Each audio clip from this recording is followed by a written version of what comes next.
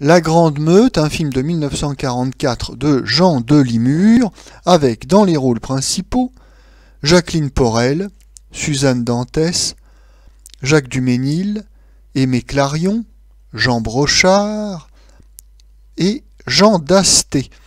Le sujet un aristocrate, Jacques Duménil, possède un domaine hypothéqué, des dettes et une meute, orgueil de la famille.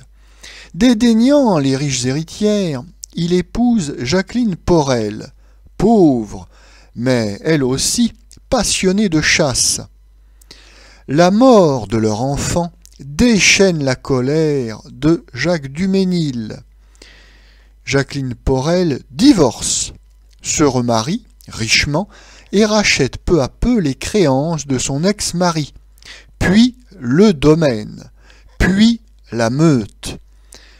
Réunie un instant pendant la débâcle de mai 40, Jacqueline Porel libère les chiens et meurt sous le bombardement en suppliant Jacques Duménil de lui pardonner.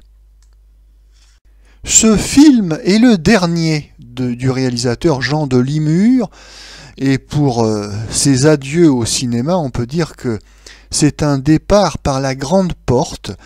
Euh, Jean de Limur ne nous avait pas habitués à faire des films de cette qualité.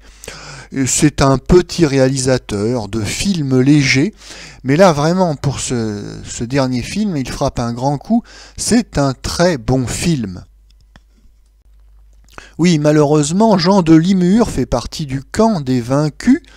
Il a choisi l'Europe nouvelle contre euh, le judéo-bolchevisme, le judéo-capitalisme. Il est le beau-frère d'un dirigeant du cinéma fasciste. Il tournera d'ailleurs un film en Italie en 1943. Enfin bref, son compte est bon. Les justiciers de l'épuration en 1944 mettront fin à sa carrière cinématographique.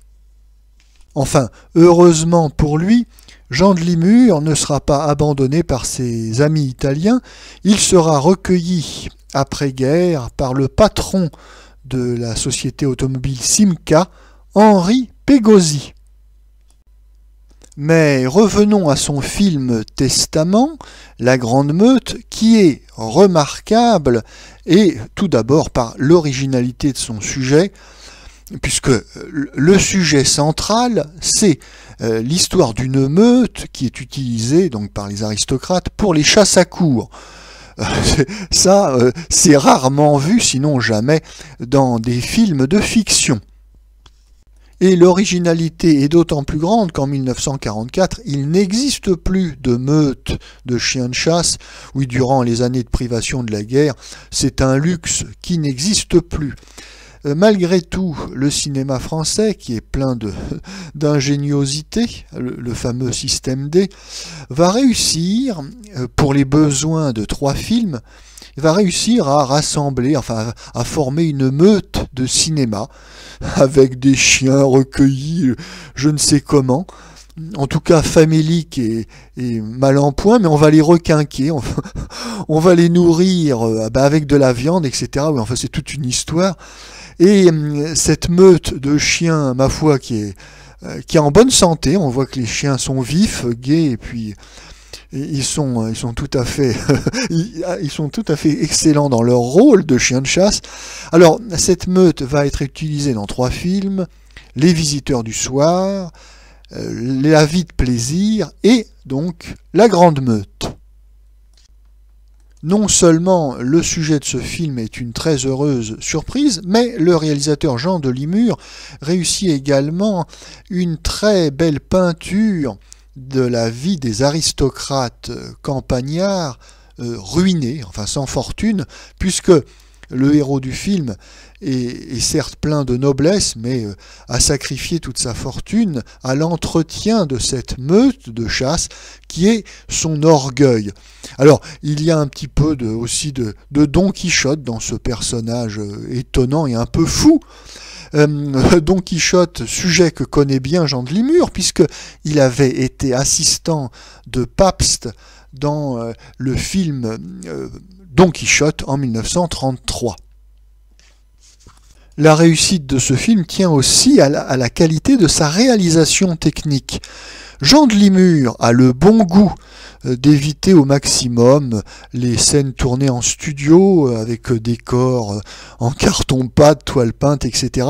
Non, Jean de Limur essaye d'être au plus près de la vérité. Nous avons de nombreuses scènes tournées en extérieur. Et le film, d'une manière générale, est vraiment marqué d'une vraie vérité, une authenticité. C'est un film, certes aristocratique, mais euh, très rustique aussi à bien des égards.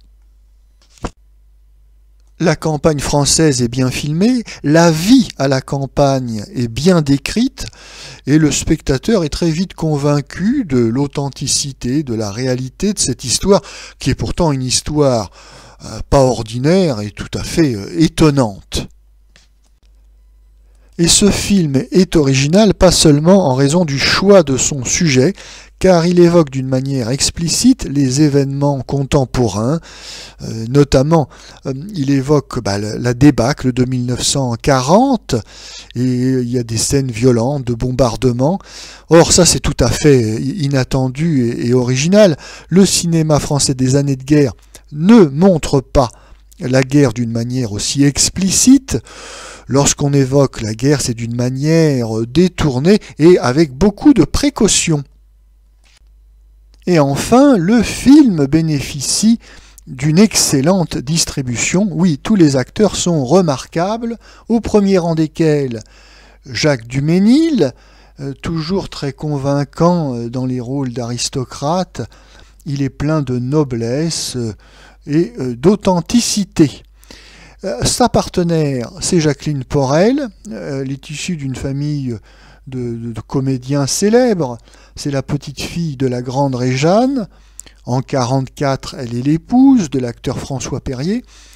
Et elle est excellente, oui, alors elle ne joue pas la comédie, hein, comme toutes les grandes actrices, elle est euh, vraiment le personnage, elle fait preuve de beaucoup de caractère, de personnalité, et elle est très convaincante dans ce rôle difficile.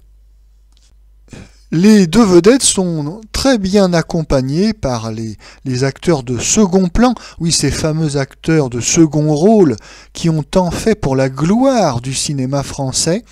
Alors on saluera notamment les prestations de Jean Brochard, Aimé Clarion et Suzanne Dantès.